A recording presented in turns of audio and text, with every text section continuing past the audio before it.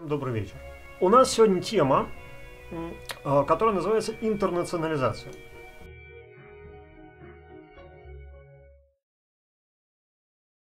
Я открыл э, э, план прошлого, прошлого года, потому что, в принципе, я надеюсь, что у меня получится примерно такая же лекция, как была в прошлом году. А, ну, более-менее. Значит, прежде чем вообще разговаривать про интернационализацию, э, давайте немножко терминов введем, почему это называется перевод, что такое И-18Н, что такое L10N, вот это все. Ну, для начала. Э, э, интернационализация эм, это очень длинное слово, в нем 20 букв, internationalization, поэтому э, слово internationalization пишут э, сокращенно И18Н. Вот, отсюда и э, так, вот эта самая свой, штука. Вот. И то же самое а, относится к сокращению И10N, это localization. Процесс локализации, то есть адаптация к конкретной локали, языку, стране, возможно, варианту варианту э, начертания этого языка, потому что, например, бывают, э, э, скажем, кириллическое и лати... латинические варианты. Вот. Это все называется локализацией. Адаптация к локали. А локаль мы, не помню, изучали или нет, но, в общем, это такая простая штука. Вот командной строке вы пишете слово локаль, вам выдается целый набор различных языковых настроек и какому языку они адаптированы. Вот. А, я не помню, мы, кажется, не будем это, это обсуждать здесь, э, за исключением того, что я покажу, как запустить, э, по крайней мере, под Linux э, программу в одной локали и в другой. Значит, локализация. Что в себя включает локализация? Локализация в себя включает, э, ну, разумеется, перевод всех названий, которые нуждаются в переводе, это понятно. Но не только. А, например, э, локализация включает в себя различные развлечения, вернее, не различные, а развлечения работы с текстовыми и околотекстовыми данными, которые приняты в конкретной э, стране или в конкретном языке. Например, известно, что эм, в э, русской локале э, при упорядочении строк большие и маленькие буквы не отличаются, а в английской, например, отличаются. Или эм, указание денежных единиц, указание, указание э, расстояний, вообще всякие числовые величины, что, что, собственно, за что, собственно, отвечает э, слово numeric. Или, например, формат времени. Или, например, э, всякие телефонные адреса, вот это все. Да, в конце концов, денежные единицы. Вот. Все это, так или иначе, требует, э, э, пере, требует некоторой трансляции, если вы планируете э, из, из, изготавливать программу, которая будет работать на нескольких языках. А, помимо э, текстовых и околотекстовых данных, трансляции также требуют, ну, например, картинки, особенно если на них что-то написано. Вот. А, трансляции требуют э, расположения виджетов на экране, если вы планируете виджет. Потому что а, если, например, вы собираетесь транслировать это на язык, у которого начертание справа налево, а не слева направо, да, то, скорее всего, у вас размещение критично важных виджетов тоже поменяется с э, левоправного на право-левное. Вот. Э, трансляции требуют, как это ни странно, логотипы, потому что в разных странах они разные, например, дорожные знаки или что-нибудь такое, или, например, вот такой логотип, э, вот этот поднятый большой палец в некоторых культурах эм, ассоциируется с поднятым большим, э, небольшим, а средним пальцем. Примерно значит примерно то. Вот. Ну, вот такого сорта вещи, или там вот, вот это, вот этот жест тоже может быть воспринят как неприличный. Такого э, э, рода, такого рода вещи тоже требуют э, преобразований. Вот. Ну, в общем, вот. А, кроме того, если вы делаете программный продукт, переводы требует также документация. И вот перевод документации это совершенно отдельная тема, которую мы сейчас рассматривать не будем. Автоматизация которой не настолько, э, не настолько удачно обычно проходит, чем автоматизация э, перевода, э, перевода текста. Ну, вот такого типа. Значит, локализация, повторяю, это не только перевод, но еще куча всяких других вещей, э, э, то есть трансляция множе, большого количества других э,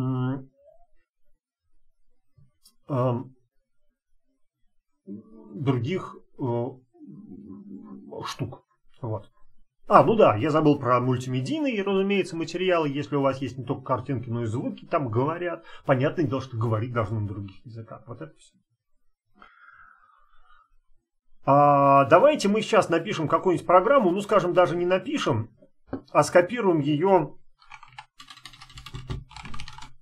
скопируем ее из э, документации по ТК-интеру. Вот. Значит, вот у нас есть документация по ТК-интеру. А, это она же.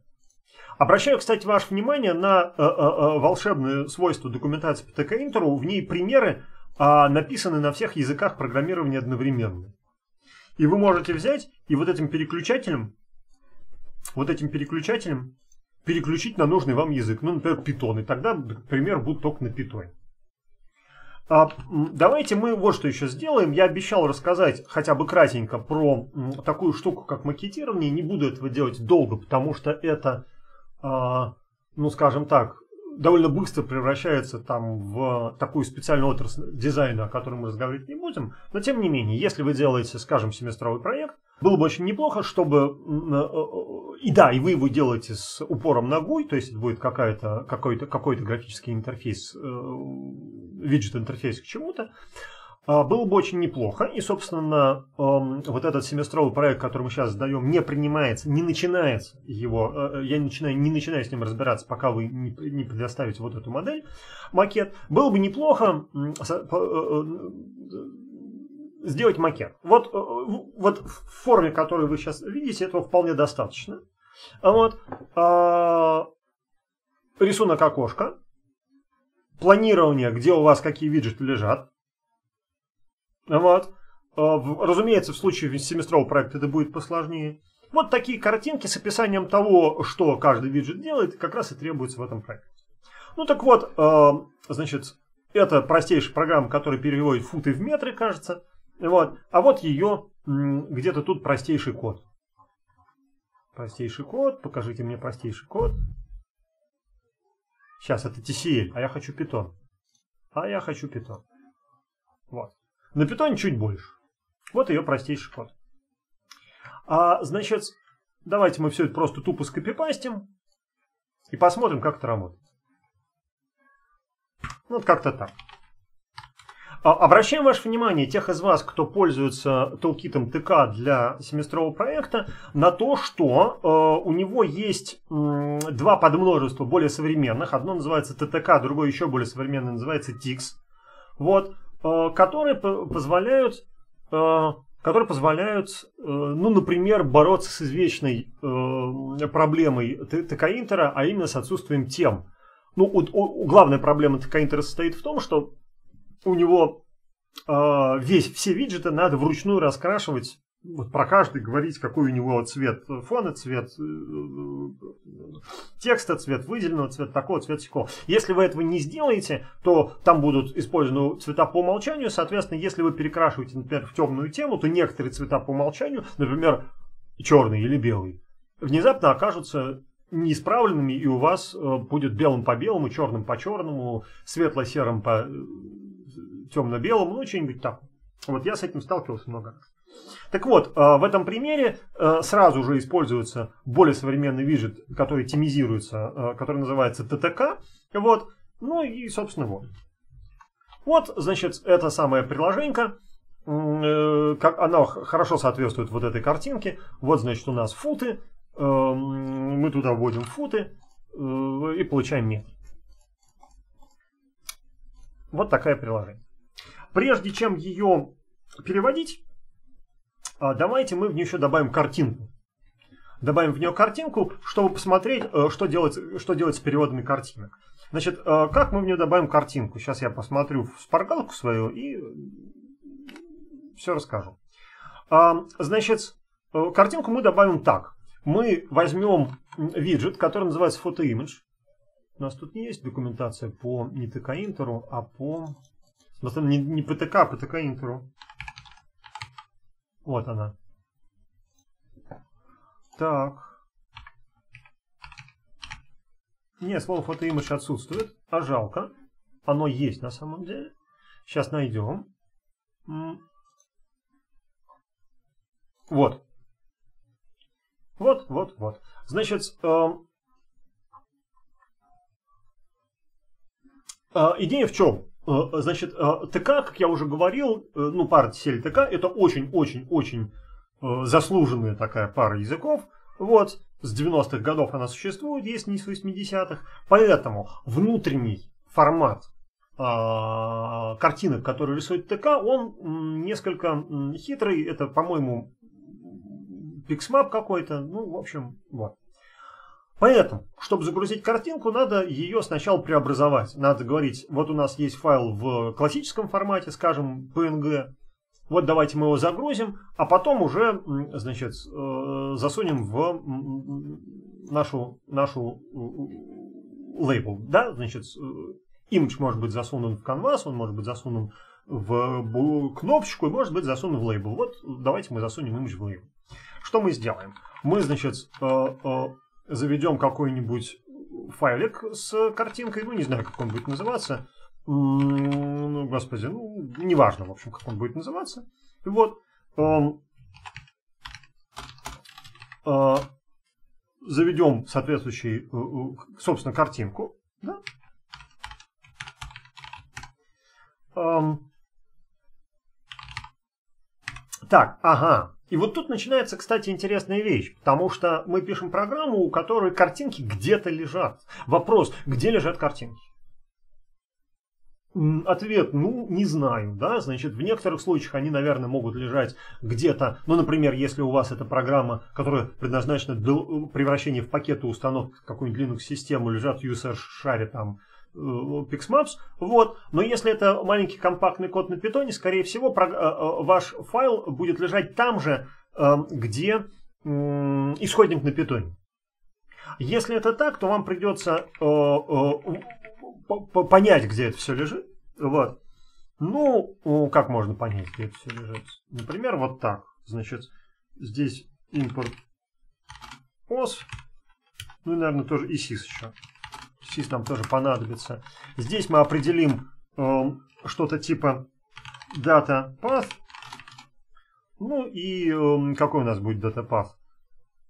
Какой-нибудь dirname от нашего этого самого. Там os.path.dirname name от sys.argv0. Да? Вот такая конструкция нам будет гарантировать э, то, что в DataPath у нас отложится внезапно именно, эм, именно э, тот, тот каталог, в котором у нас лежит э, наша запущенная программа. Тогда мы здесь э, напишем что-то типа os.path.join вот это DataPath и эм, ну, какое-нибудь название, ну, не знаю, ну, давайте назовем его logoen.png. Logo yen.png. Это значит английская картинка э, с зачесом на то, что будет еще не английский. Вот. Ну и сделаем ей лейбл. Так, что здесь неправильно, потому что вот так. И сделаем ей лейбл, в котором мы, собственно, поместим. Так, тут все сделано с помощью TTK, значит здесь тоже сделаем ttk.label эм, что, значит, э, как у нас называется рутовое окошечко? Рутовое это просто ТК, а приложение называется mainframe. Вот, пускай будет mainframe. Mainframe. это у нас root нашего, мастер, ну, мастер, да, мастер нашего окна. Вот. Ну и, собственно, вот. Вот мы завели, завели э, нашу, ну что это такое? Picture, да? Теперь пик надо разложить в этом самом, в, э, в геометрии куда-нибудь. У нас что тут используется? Грид у нас используется. Так, давайте посмотрим, куда он должен приехать он должен приехать вот в левый верхний угол. Вот. В левый верхний угол он должен приехать. Это значит, что это строка 0. Нет, 1, потому что там еще надпись строка 1. Вот. Э, а колонка, похоже, тоже 1. Интересно, почему? Ну, хорошо, пускай будет. Хорошо, значит, э, точка grid. Что там? Колонка 1. Э, строка тоже они. Ну и стики у нас, допустим, что там? Нордвес. Вот. Ну, надо еще, э, дело за малым, нужно еще саму эту картинку нарисовать, да? Ну, мы ее нарисуем с помощью, э, не знаю, там, снимка экрана, да, вот. Так вот сделаем. Ну, например, что это было? А, это какой-то дамп. Ну, хорошо. Ну, что можно сделать? Можно сделать так вот. Что там? Fit to meters. О, о. Чем не логотипчик?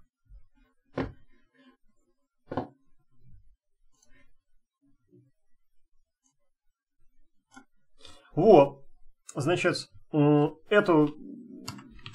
Сейчас мы ее скопируем. cp tmp snap current в наш каталог SRC Trans. Вот. И у нас уже будет более-менее приложение с картинкой, если мне не изменяет не изменяет чутье. Да, понятно, да. Дата path, а здесь я что написал? Дата path, понятно, дата path. Что еще? Лого ENPNG. А, ну да, его надо было переименовать. Я тормоз, что ли, да? Да.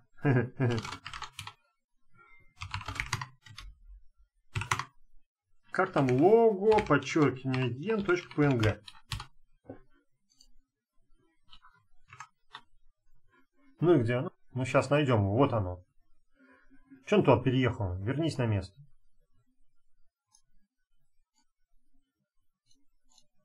Вот. Ну вот. Э, э, э, так себе лого, ну пускай такое будет. Какая разница? В данном случае мы, оно просто покропалось. У меня это самая автоматическая кропалка. А, а в смысле, когда я снимаю снапшот кусочка экрана, он одинаковый цвет обрезает по краям. Ну вот. Окей. Значит, что мы сделали? Мы соорудили программку, которая э, еще и с картинкой. Сейчас будем все это переводить. И тут наступает вторая часть марлезонского балета. Ну, вернее, не так. На самом деле, это первая часть марлезонского балета, потому что мы еще ничего не начали даже переводить. Которая состоит в том, что мы должны каждую строчку, которую мы собираемся переводить на какой-нибудь альтернативный язык, обмазать специальные функции, которые будет это делать. То есть, а, сейчас мы используем дисциплину, которая называется GNU Text. Сейчас я попробую сделать ссылочку на нее. Где-то тут была ссылочка на нее. Вот она. А, это такой э, способ документирования. Это, правда, большой документ, не буду ничего показывать. Много до хрена. Вот. А, такой способ документирования – котором идентификатором сообщения является само сообщение на исходном языке. Это довольно опасная идея, но она во многих случаях хороша. То есть, а, если мы видим, что в, нашем, э, в нашей программе несколько раз встречается словосочетание fit to meters, Каждый раз словосочетание fit to meters будет означать, что его можно перевести на альтернативный, скажем, на русский язык. И э, для, каждый раз для fit to meters перевод будет одинаковый. Потому что это одно и то же, один и тот же идентификатор. Э, это хорошо в случае, если у вас развернутые сообщения друг на друга не похожие. И это плохо, если у вас э, сообщения, э, надписи на кнопках короткие, похожие и значит разные. Особенно это плохо для английского языка, в котором очень часто путают, путаются глаголы и существительные, например. Да? Вот. Э, и мы, кстати, очень часто видим в э, неаккуратных русификациях, э, что кнопочка, на которой должно быть написано, должен быть написан глагол, потому что эта кнопочка, на ней написано существительное, и, об, и наоборот, да, где, значит, там эм, эм,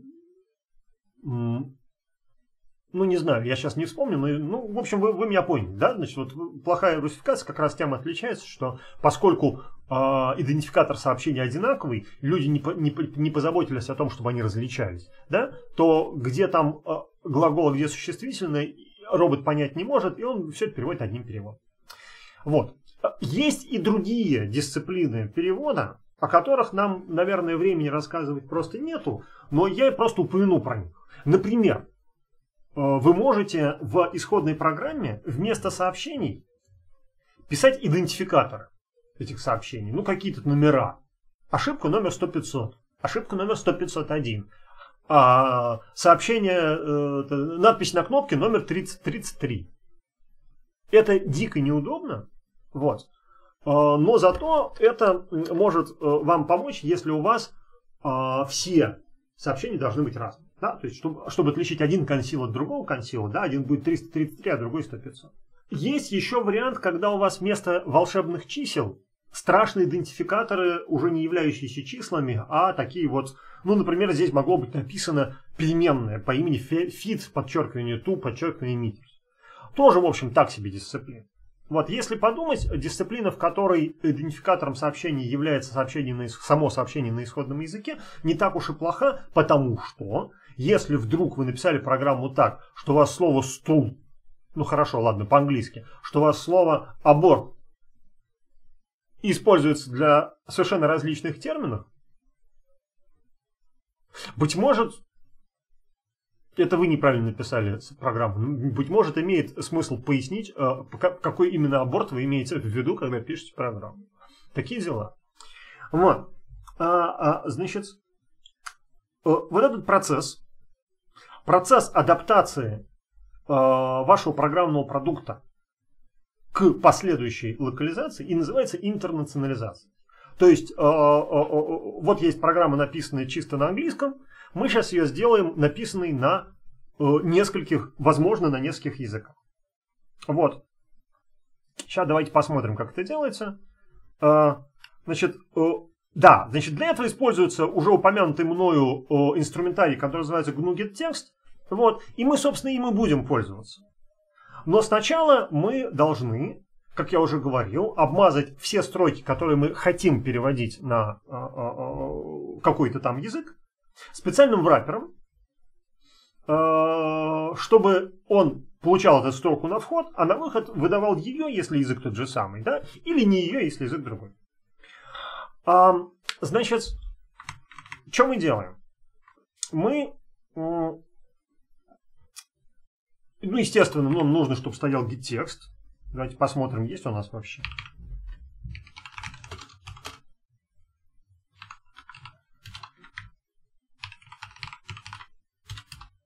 М, есть. Иначе он не заработал. Хорошо. Значит, нам нужно, э, чтобы стоял текст.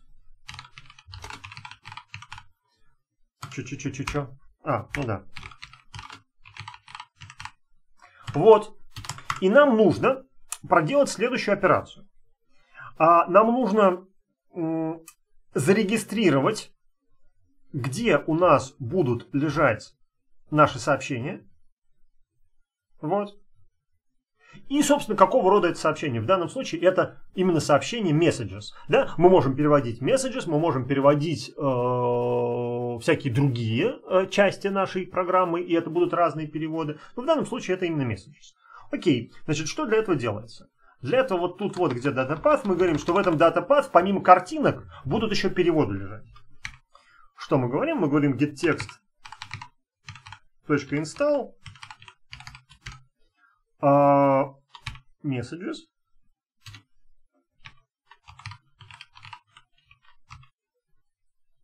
и путь, где они лежат. DataPath. Так. А вот теперь самое интересное. Самое интересное состоит в том, что, ну или как самое интересное, ну короче, когда мы вот так говорим, у нас э, в результате в текущий namespace приезжает, э, сейчас я посмотрю, ну по-моему да, оно само приезжает. Интересно, как это происходит. Короче говоря, после, после того, как вы проинсталируете, инициализируете getText, в текущий namespace приезжает функция, которая состоит из одного символа подчеркивания. И это довольно традиционный для э, э, подсистем перевода прием, чтобы меньше загаживать э, э, э, вот этими обмазками экран. Вот. Э, то есть вам, нам нужно э, все строки, которые мы хотим переводить, из вот такого формата превратить вот в такой формат. Вот эта функция подчеркивания, это и есть функция перевода, которая... Вот. Кстати, кстати, кстати, кстати... Э, вот так это надо сделать. Вот. Ну что, давайте это делать. Так, чтобы такое написать, так.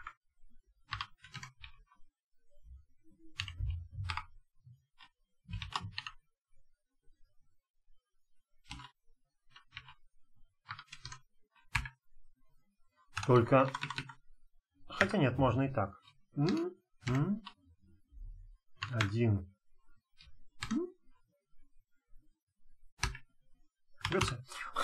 Вот вам, пожалуйста, это наверняка будет. Значит, что мы сейчас делаем? Мы меняем вот такое регулярное выражение, то есть э, кавычки, последовательность не кавычек, кавычки, на ее же, на его же заключенный вот в эту самую конструкцию подчеркивание скобка, это вызов функции подчеркивания. А, G означает global, C означает confirm. Дело в том, что когда вы производите интернационализацию вашей программы, которая будет состоять не только из вот, э, подстановки вот этого, но еще кое с чего, не забудьте о том, что некоторые строки переводить не надо. Например, строчку messages, которую мы видим вот здесь в 16 строке, переводить не надо. Файл так будет называться. Вот эти вот 3, 2, 2, 2, 2, 3 переводить не надо.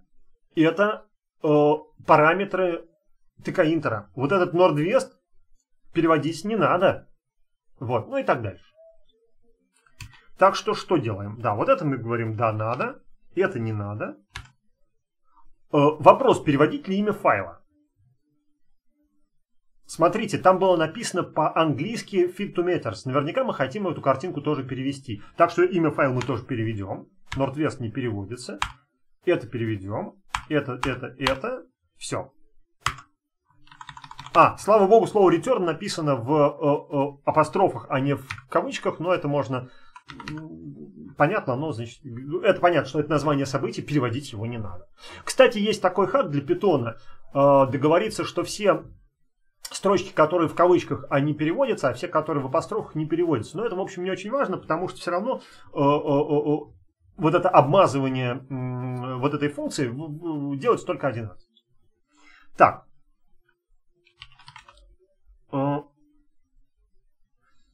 Мне кажется, что прямо сейчас эта программа будет продолжать работать.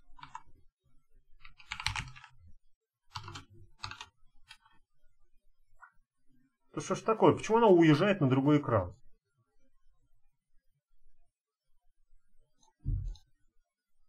И не на этот. Вот на этот. Странно, почему она уезжает на другой экран. Ну, непонятно. Что ей там не нравится. Короче, вот. Она будет продолжать работать, то есть интернационализация, вообще говоря, совершенно неинтрузивна для работающей программы. В действительности там под капотом произошло несколько интересных событий. Дынц, дынц, а, ну да. Произошло несколько интересных событий. Она попыталась открыть файлы перевода, не нашла этого файла перевода и загрузила значение по умолчанию. Это нормальная э, штука для э, перевода приложений.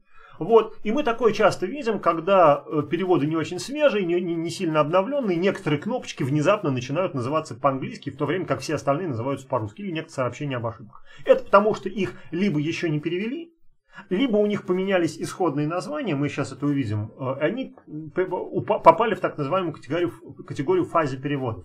То есть перевод для этой кнопки есть, но фиг его знает, он годный или негодный. Такие дела. Так, значит, э, на мой взгляд, поскольку никаких проблем не было, интернационализацию мы худо-бедно провели. Э, ну, может быть, стоит, стоит вот здесь э, картинку сделать. Давайте сделаем.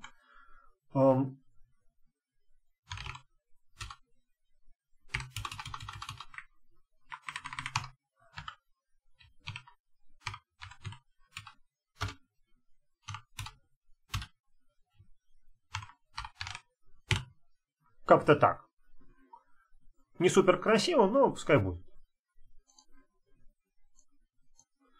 Ой, нет, неправильно.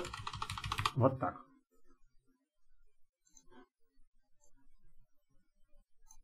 Вот. Эм, сделаем такой же ЦП. Назовем его лого.ру ру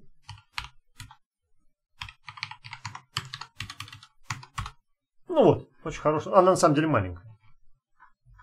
Это просто у нее то самое. Да.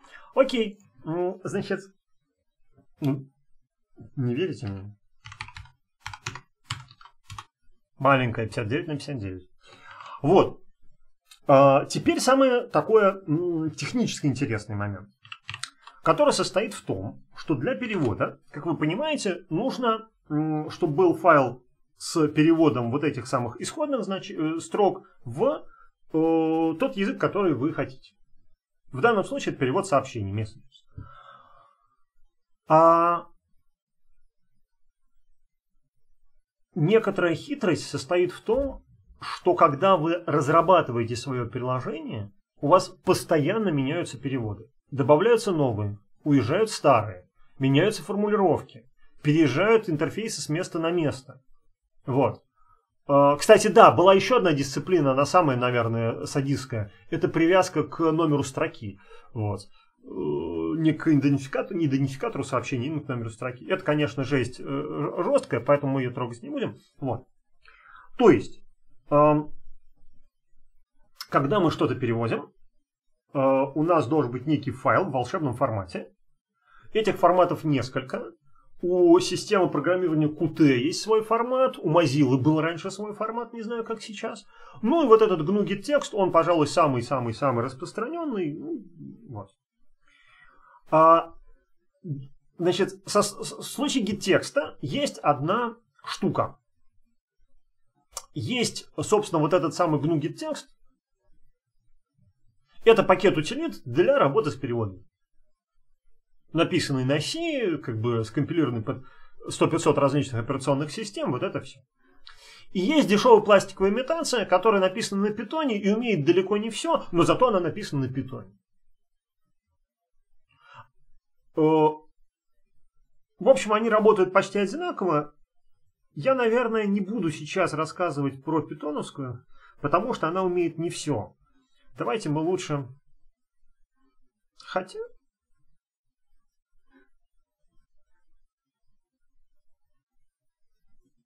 Хотя можно и так написать. Сейчас я подумаю. Тут у меня есть? Есть, есть. Дальше есть рассказ на эту тему. Ну, отлично. Давайте тогда, давайте тогда для начала воспользуюсь питоновской, но на самом деле она умеет далеко не все. А, смотрите, видите волшебное слово И18Н? Теперь мы знаем, что это такое. Это интернационализация. Вот. Там лежит две помутилиты. 3.8, потому что. там лежит три утилиты, вот, э, из которых одна, я даже не знаю, зачем нужна, вот эта make locate alias, вот, MSG и pget-текст. Pget-текст нужен для выковыривания, первоначального выковыривания э, обмазанных get-текстом, подчеркивание скобочка, э, строк из э, вашего кода. А MSG это аналог, э, как раз немножко урезанный, аналог утилиты MSG который есть в составе GNU Поскольку нам нужно выковырить э, эти самые значения, вот мы сейчас их и выковырим. Значит, pget текст отсюда запускаем. Э, pget текст. Интересно, какие у него параметры.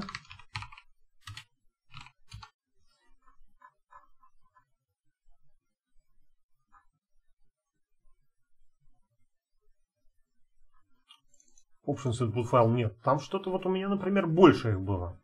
Минус D. Что такое минус D? Минус D name. Default домен name. А. Значит, тут история такая.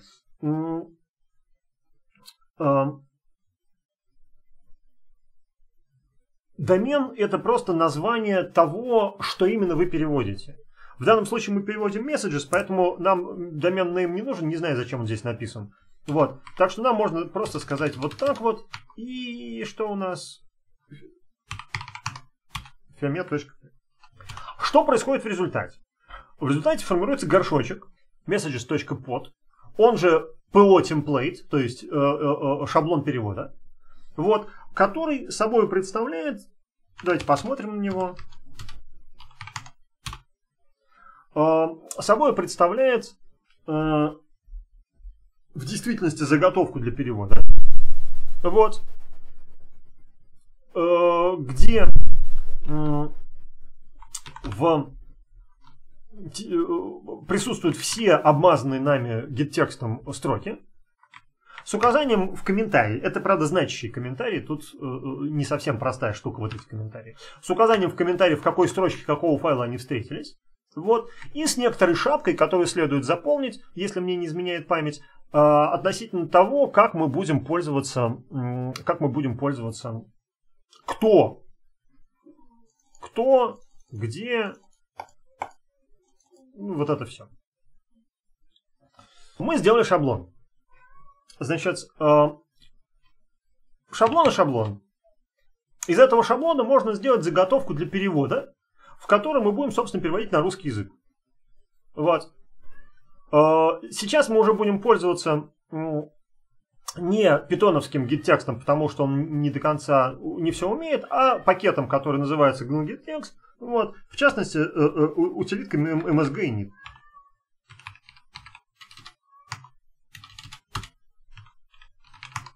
Вот, значит, э, что нужно сделать утилиткой MSG и NIT? Ей надо сказать, какой язык будет использоваться, ну, скажем, русский. Вот. Она у нас будет спрашивать, что мы хотим, какой адрес. Она даже нашла какой-то адрес. Смотрите. Вот.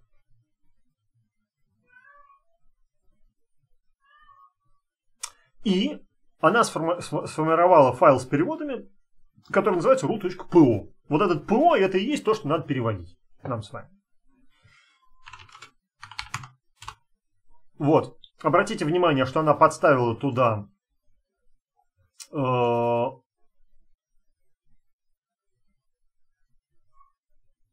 чарсет, в котором будем переводить. Вот. Обратите внимание, что она написала какие-то волшебные, волшебные чиселки, про которые мы еще поговорим. Да, ну язык русский. Вот. И даже подставила меня как переводчика, обратите внимание. Ну, правда, language team это вот такое, ну, да. Ну что, давайте переводить, что ли.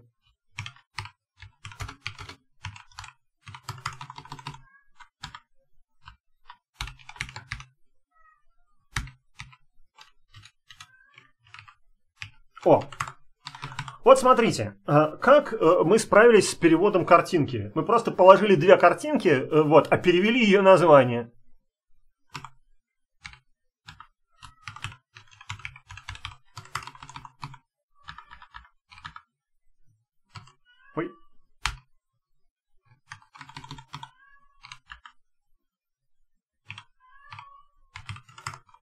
Но это было слово футы. Да что ж такое-то? Это было слово футы. Футы-нуты.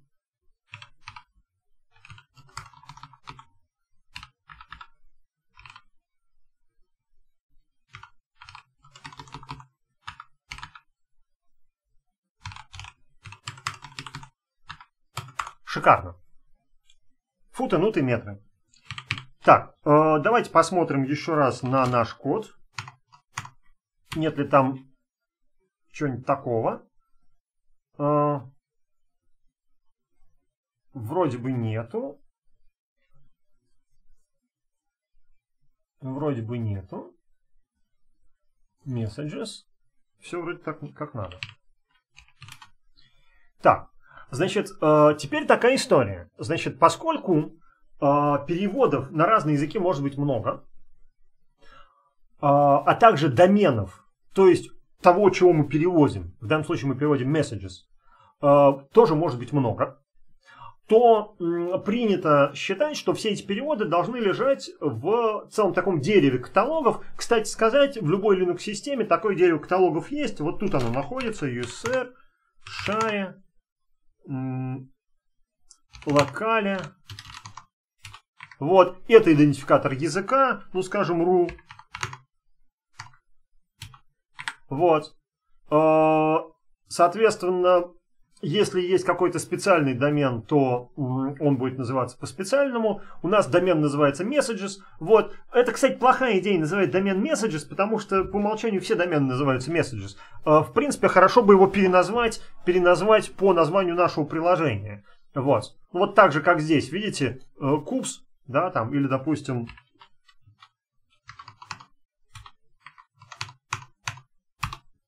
Вот, тут ничего нету. А что есть здесь? Ру, какой еще будет ру? Это украинский. Вот. Ну, вот всякие.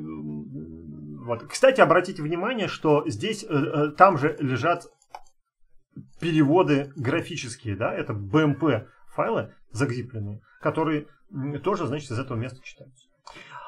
А, так, а что еще может быть? Что-то у меня мало с переводами. Давайте посмотрим вот так. Да нет, много. LC Messages вот в количестве. Вот. А, как видите, вот это самое название домена, которое у нас называется Messages, а, как правило, совпадает с названием программы. Ну, оставим пока как есть. Да? Э, э, э, но мы видим, что они начинают называться по-другому. Еще, как видите, там лежат не PO-файлы текстовые, AMO файлы скомпилированные. То есть нам надо э, соответствующий перевод еще скомпилировать. Ну, давайте скомпилируем. Э, минус P LC messages. Вот. Так. Um, и вот туда положим э, наш скомпилированный перевод, и этот скомпилированный перевод э, будет открываться нашим файлом в тот момент, когда он э, э захочет перевести э, э, строчку на русский язык э, с помощью именно get-текста. Так, ну чего? MSG MSG Что там, какие у нас параметры? Э, имя файла ПО, да,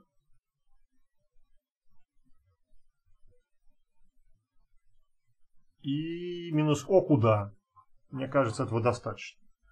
msgfmt ru.po минус О вот туда вот, вот, вот, вот, вот, вот сюда вот. ru messages. У нас он называется messages мыло. Кажется так.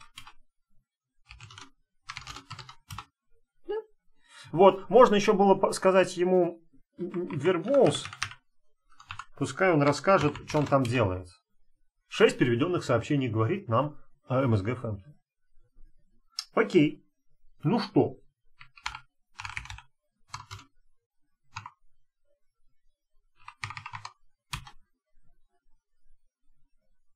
Тадам!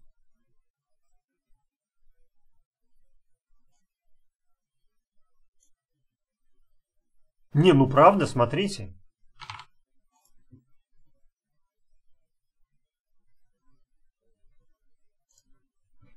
Поменяем локаль на какой-нибудь. lc all равняется, ну, c, например, дефолтный локаль. Тадам!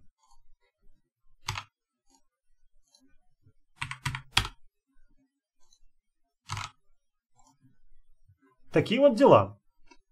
Обратите внимание, кстати, что э, LC Numeric у нас не сработал. То есть мы не перевели э, вещественное число в представление с запятой в качестве десятичного знака.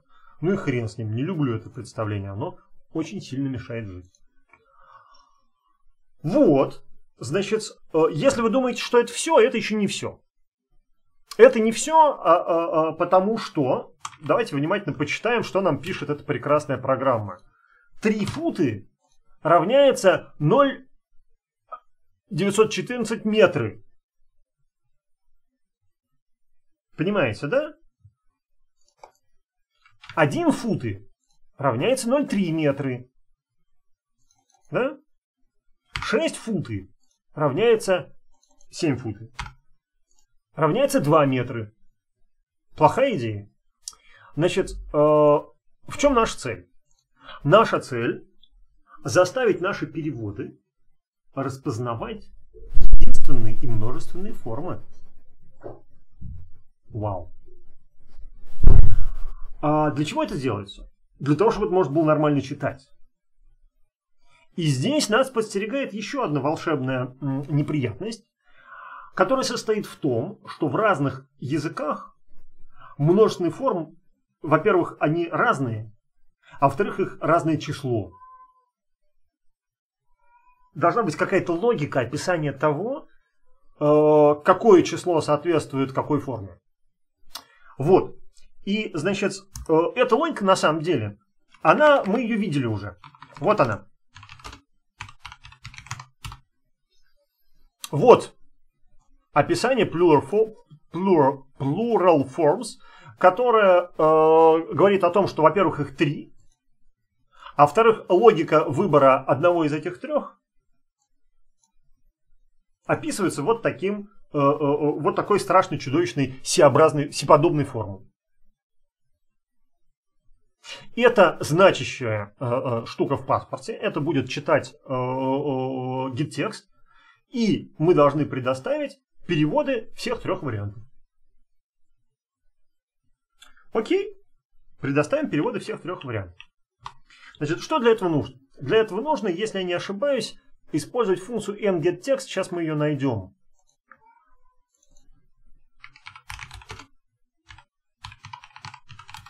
Э, идея состоит в том, что вы придаете ей э, единственное число, множественное число или множественные числа, сейчас посмотрим, и, собственно, э, то, э, сколько оно там на самом деле, чтобы оно решило, какую из этих форм выбрать.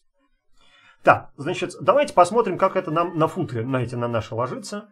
Где наши эти футы? Не здесь, вот здесь они. Так.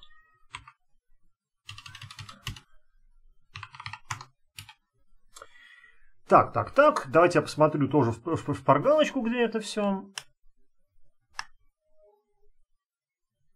Ага, Значит, э, для этой цели, э, смотрите, мы не можем перевести вот эту, вот эту штуку навсегда. Да? У нас то футы, то фут, то фута. Нет, футов, фута, фут. Метров, метра, метр. Feet, foot. Meter, meters. Да? Значит, э, в зависимости от значения числа у нас будет разное, разное разные переводы. Поэтому мы должны э, э, обеспечить функцию, которая бы обновляла эти метки э, всякий раз, когда меняются эти числа. Да? Значит, ну что-то типа, типа такого. Написать update um, labels, labels. Э, значит, это значение будет про метры. Это значение будет про футы. Вот. Значит, правила такие, что вы можете, если это вещественное число, как в нашем случае, вы можете вообще э, э, забить на этот период, потому что если у вас есть сколько-то десятых фута, это всегда сколько-то десятых фута. Вот. А, то есть, ну, это всегда будет родительный падеж. Но, предположим, мы хотим, чтобы это был 1 фут, 2 фута, 10 футов, да, 1 метр, вот это все. То есть, э, собственно, целые числа вместо вещественных используются. Ну, давайте мы их округлим тогда.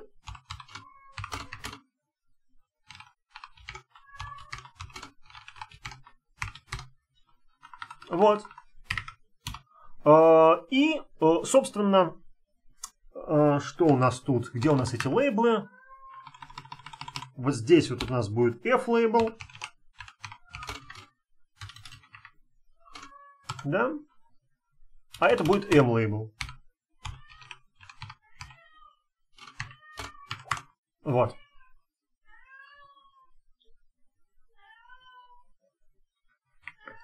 Ну, кстати, вот эти переводы надо будет убрать потом. Окей. Значит, тогда мы пишем что? Что M M-лейбл. Напоминаю, что можно делать вот так вот текст. А, равняется meters. А, F-лейбл. Текст равняется fit. Так, ну тут еще никакого перевода нету, если не, не, не ошибаюсь. Мы просто мы просто э, э, переделываем, переделываем, да, вот, вот вместо вот этого вот, да, это мы убираем.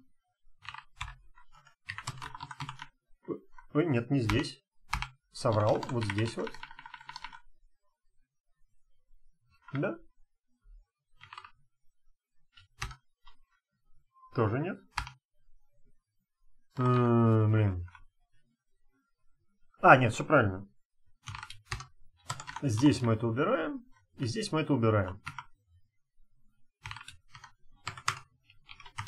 Вот. Э, по идее ничего не должно измениться. Только... А, надо функцию еще вызвать, конечно. Надо вызвать функцию. Какую?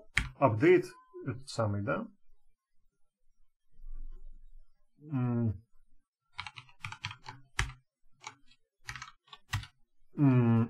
Так, update labels. И что мы вызываем этот update labels? А, ну ничего, по умолчанию пускай будут нули. Чё, чё, чё, чё, чё?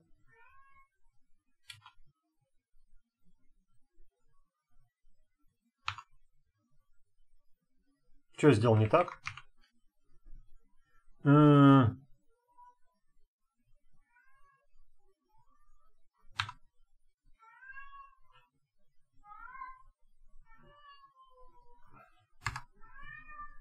Каком месте? Почему-то M-лейбл ему не нравится.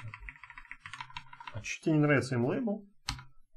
А, потому что они должны быть, наверное, global. А я тормоз. Да? Нет? Да вроде нет. Хм.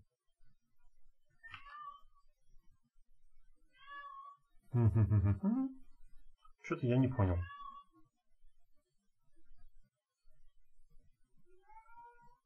А, все, я тормоз. Смотрите, я же тут точка грид вызвал. Во, да. То есть это надо на, на 2 разделить. Надо разделить на 2. Вот это сделать вот так вот.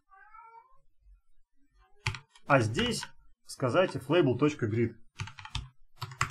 Вот это разделить, сделать вот так вот. А здесь сделать вот так.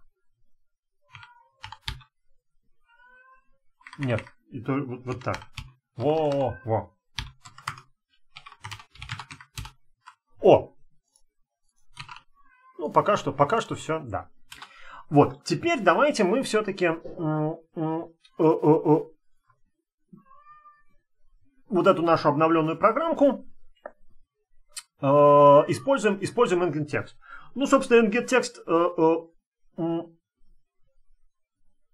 нужен в каком случае? Во-первых, мы должны сказать нашему инсталлу, что э, мы используем еще, помимо всего прочего, э, специальную функцию под э, преобразование э, чисел, чтобы она должна быть тоже, помимо подчеркивания, которое приезжает в наш namespace просто по факту вызова getTextInstall, такую небольшое питонье чудо, да, мы должны перечислить еще какие функции нужно из этого getText вынуть. Вот. В частности, мы должны написать э, написать функцию, э, что мы должны вынуть функцию getText. Это пишется так, names, то есть какие еще имена в namespace нам вынимать, getText.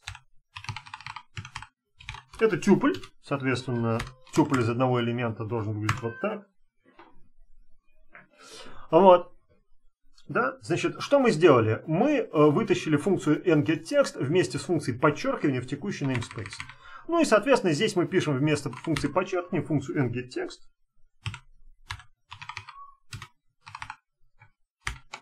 Вот. И здесь тоже. И как бы уже было сказано, э, пишем ей метерс. M. Feed. Соответственно, здесь у нас food.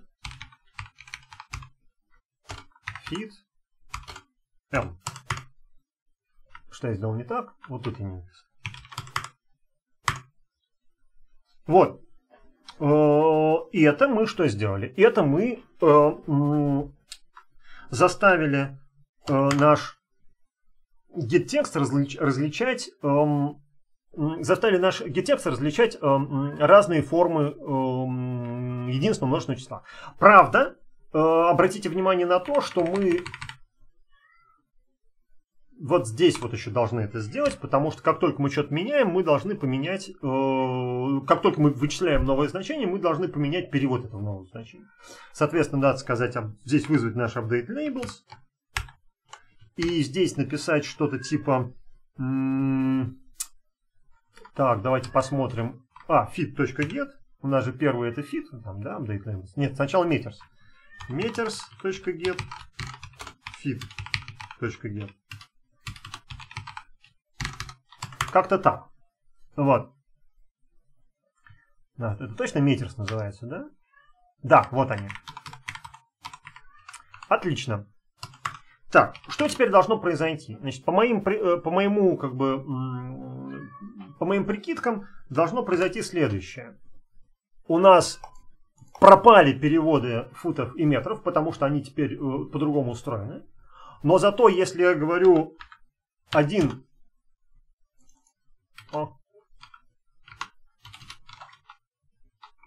Что-то нет.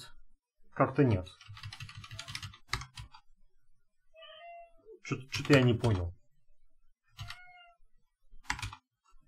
Два метра. Ща. Ноль метров.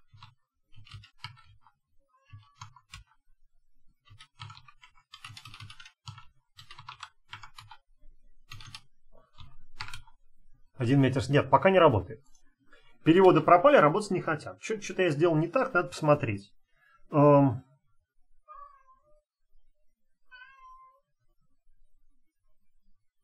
Да вроде все сделал правильно.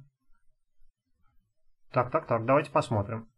Значит, а, давайте посмотрим, что ли, в исходнике. Э, э, там у меня есть подсказочка. Непонятно. Ну ладно, давайте поглядим. Значит, тут есть где-то, где-то тут есть вот гид, гид, в котором все это лежит.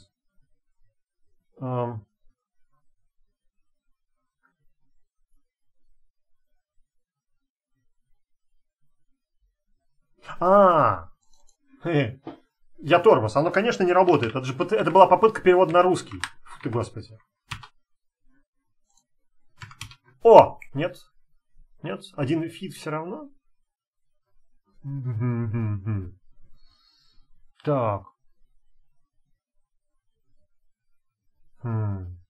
Так, давайте все-таки поглядим. У нас не так много времени. Э, давайте поглядим в, в, GitLab, в Git так, вот я эту функцию написал. Тут все вроде я прям один в один написал. А, нам, это, это, это, это, это предыдущая стадия. Так, так, так, так, так. Давайте посмотрим. Мастер. Commits. Using get text. Значит, вот. Все это сделал.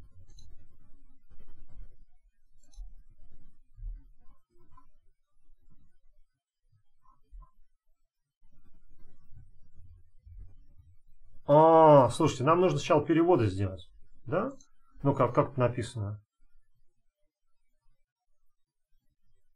Я понял. А, смотрите, э, мы же полезли в getText, а у нас по, э, файл старый. Поэтому нам нужно воспользоваться xgetText. Хорошо? Так.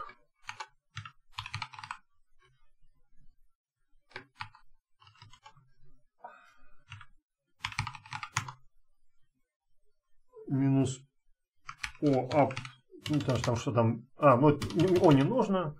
Э, что там у нас? Э, fem.p. Вот. Значит, это у нас будет messages.pod. Что-то я не вижу, чтобы она изменилась.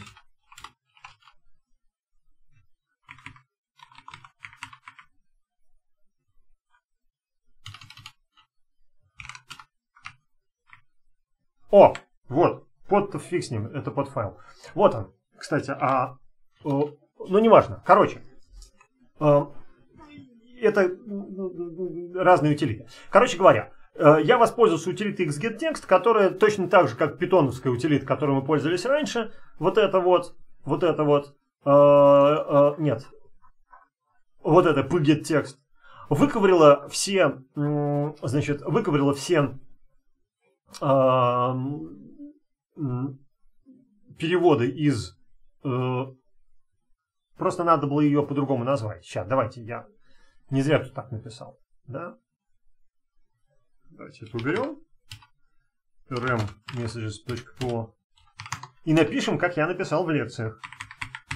xgetText минус, минус o messages.pod fem.pod. Вот мы перегенерировали наш, наш горшочек с переводами. Э, вот, он выглядит вот так вот.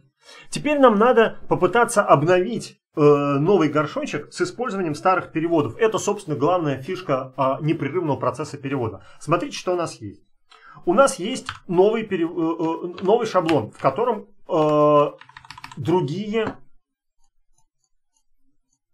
другие значения. У нас есть старый перевод, котором этих значений еще нет. А, и у нас есть еще, в принципе, некий э, э, э, должен получиться новый вариант, в котором все старые переводы остались, а все новые переводы как-то сохранены. Для этого существует специальная утилита, которая называется MSG Merge, которая, собственно, так и делает. Вы ему рассказываете, какой старый перевод, и какой шаблон новых переводов. А он на их, на их основании обновляет этот самый старый перевод. Давайте посмотрим.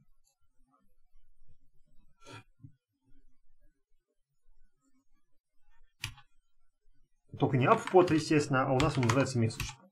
Вот, смотрите, что он пишет.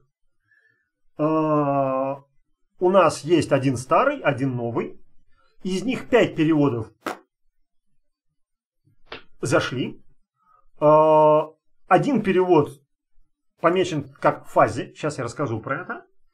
Э, одно не переведено, и один перевод оказался ненужным. Не, не вот такая вот развесистая клюква. Давайте посмотрим на нее.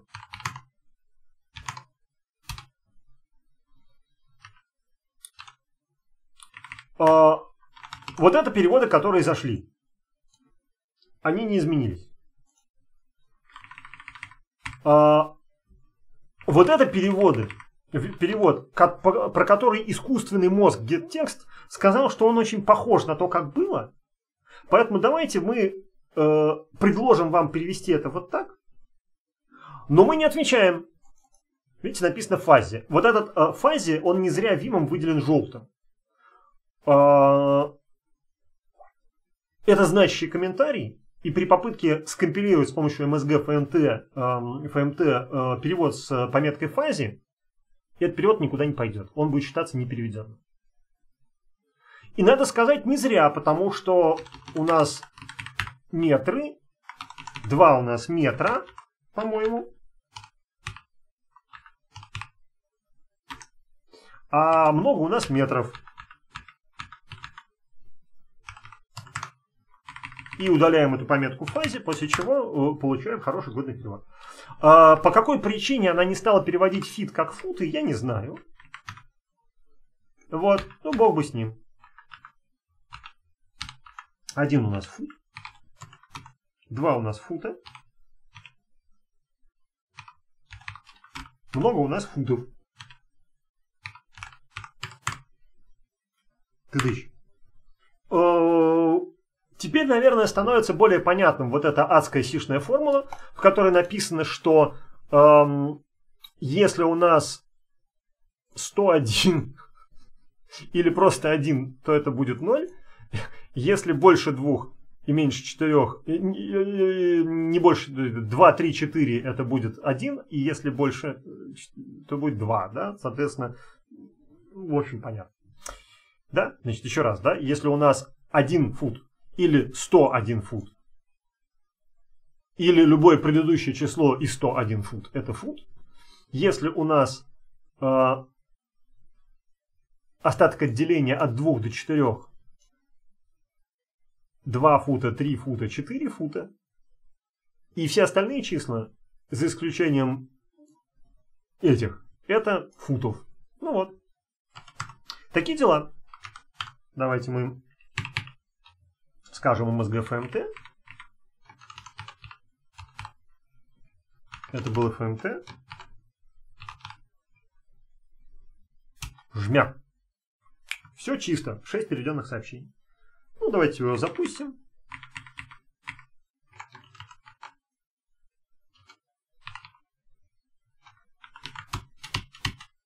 Мне надоело.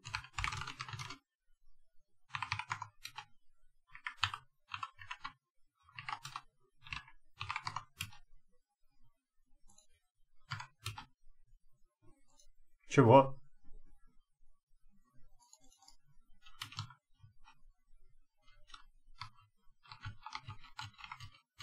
Не понял.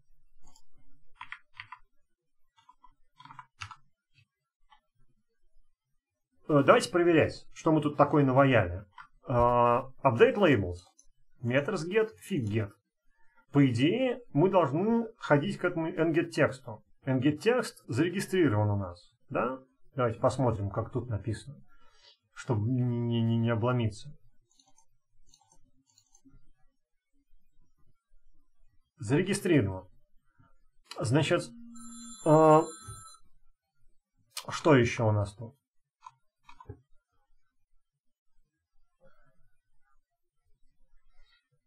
Э, значит,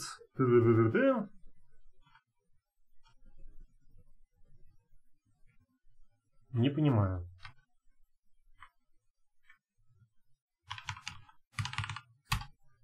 О, нет, это страх и ужас. Хотя... Понятно. Значит, э, все было хорошо, просто у меня округление работало в неправильную сторону. О, господи, понятно. Э, мне проезжало, мне проезжало э, число неправильное здесь. И там были все... Короче, я пал жертвой...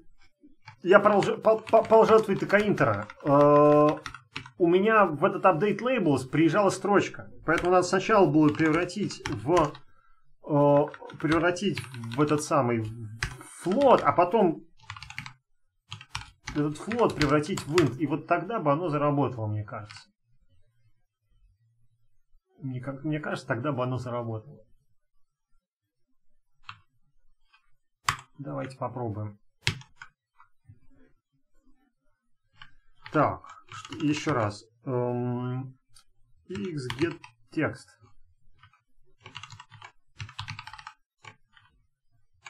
Так. MS Merch. Нет, MS Merch.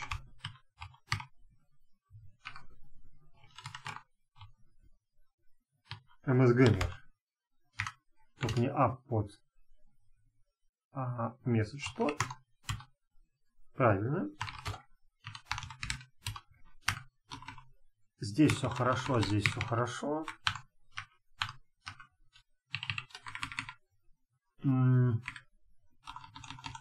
Теперь MSGFMT. Все хорошо. Наконец.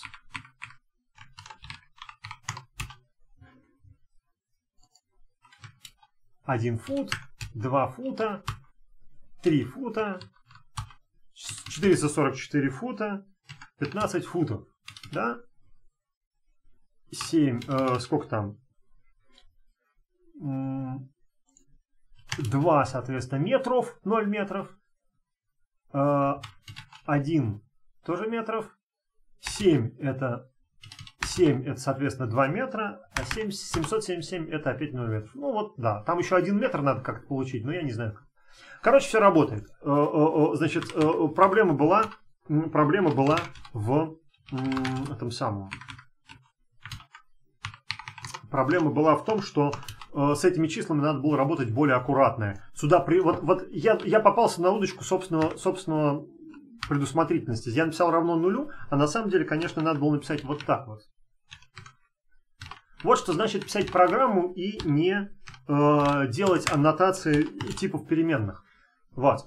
И, int вот там что-то, что-то, точка, что-то, что-то, разумеется, давал не то, что нужно. Ну, хорошо. Значит, э, вот мы справились со всем. Обращаем ваше внимание на то, что... Э, обращаем ваше внимание на то, что я чудесным образом, может быть, даже и неплохо, что я с этим справился, потому что я чудесным образом работал сразу с двумя различными программами с похожими переводами. Это, собственно, последнее, что я хотел сказать на этой лекции. Вот, что про память переводов, что, в принципе, хорошая идея создавать такой большой словарь переводов, особенно если вы работаете над похожими проектами или над проектом, который э, долго идет и так далее и делать вот этот э, MSG Merge, указывая в качестве э, перевода перевод неважно чего, либо бы там было побольше нужных строчек. Кстати сказать, если у вас образуется э, фазе или даже неиспользованный перевод, который комментируется, э, его умеет использовать MSG Merge как память переводов, он умеет залезать в комментарии. Вот смотрите, сейчас я покажу. Допустим, мы крупно, э, крупно переделали. Написали здесь дует.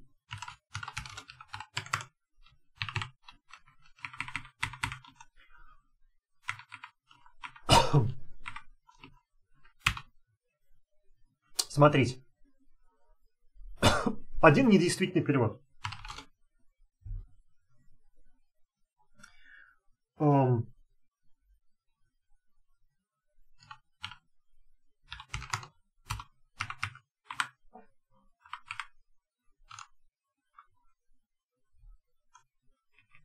Вот это, ой.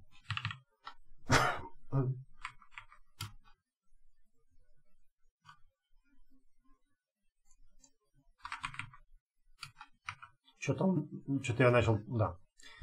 И чего? У меня слово дует не работает, да? Почему он его не пометил как недействительный, непонятно. Ну, он просто один недействительный, нет такого. Тем не менее, перевод есть, да? Странно, что он не пометил его как неиспользуемый. Вот. А,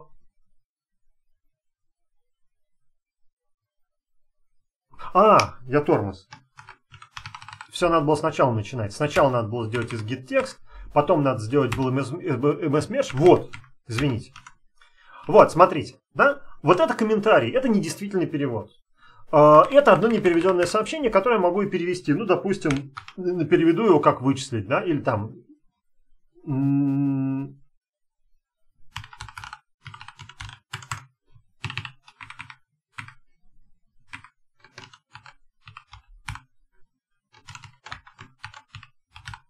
Вот, все теперь работает. Но э, э, главная моя фишка была не в этом. На, на чем я, собственно, хотел закончить.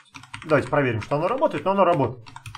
Вот оно в английском варианте, в русском варианте, вот оно в английском варианте.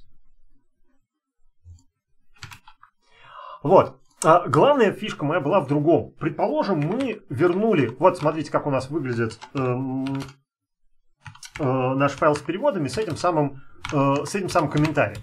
Да? Вот он комментарий. Предположим, мы вернули обратно то, что у нас было. Вместо do it написали обратно calculate. Вот здесь. И сейчас, э, да, переделали, переделали exit текст и говорим ms merge.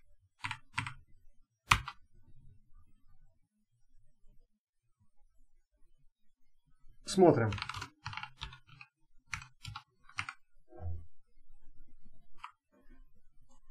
Оно взяло, отправило наш перевод дует в комментарии, а само нашло в комментариях, это тоже значный комментарий, видите, решетка тильдочка, нашло в значимых комментариях перевод calculate, положил его, выяснил, что там все отлично с контекстом, и даже ни слова не сказал, а сказал, что все переведено.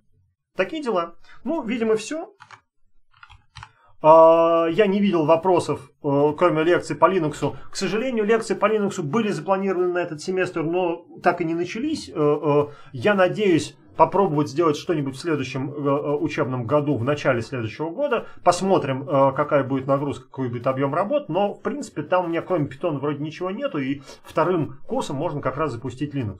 Вот. Да, Такие дела. Значит, э, вопросов я не видел, значит, их, видимо, не было. Напоминаю, что в случае стримов вопросы надо задавать в онлайне, потому что стрим запаздывает. Вот. А, ну и, собственно, собственно, на этом все. Вот. Я даже успел рассказать, в, в, ну, правда, не успел, про память переводов. Вот. Значит, э, тогда э, напоминаю тем, кто делает, кто делает курсовые проекты, эти самые семестровые, что нужно написать, сделать, э, описать постановку задачи, иначе они не принимаются, и ваш проект должен быть переведен. Э, тем из вас, кто работает не над э, интерфейсом, а над чем-то другим, надо подумать о том, что именно будет нуждаться в переводе. В принципе, на самый крайний случай, если у вас Э, ну, допустим, вы пишете какой-то движок, какого-то там бота, что-то такое, да, который не умеет общаться по-русски. Хотя бот как раз умеет по-русски общаться. Вы можете посмотреть, как с помощью гид-текста же переводить документацию. И перевести кусочек документации с помощью гид-текста. В Sphinx это встроено. Будет отличное решение на, на случай, если вам ваш код не нуждается в переводе. На этом, собственно, все. Вот. Э, до встречи в эфире. Ну и, в общем, до свидания.